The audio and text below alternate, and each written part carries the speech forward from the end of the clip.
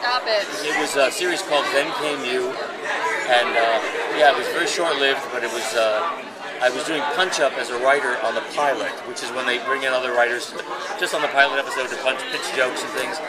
And they had a gay character who was the manager of this hotel, and the guy they had hired to play it was playing it straight.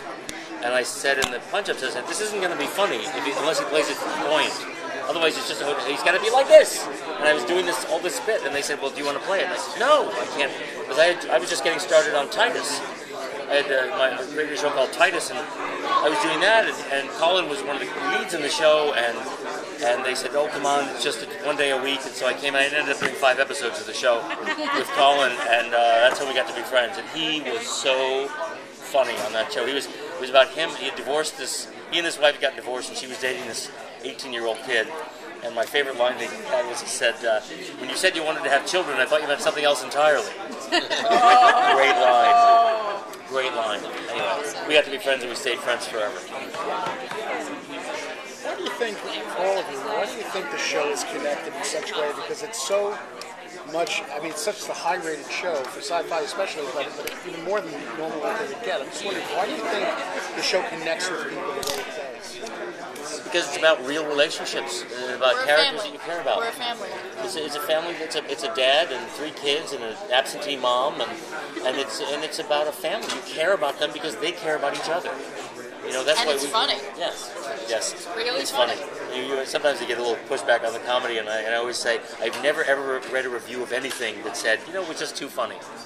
I didn't like this. It was too funny. I laughed too much. Well, let me put it this way, though. Here's the thing. It's, it's an easy thing to say, but the truth is that if we didn't, if we took everything with a grain of salt, then all the dangers would come to, to nothing. So we can make fun, we can be funny, but we also can be too funny in the sense that it, we could fall off the tightrope that Oh we yeah. walk on, Yeah, you never want to. You never want to make fun of what we're doing, but you have to. But everybody has humor. Yes. There- there's humor in every situation if you look for it. It might not be funny. You know what it is? It's not funny to you. It needs to be funny to the audience at a certain point.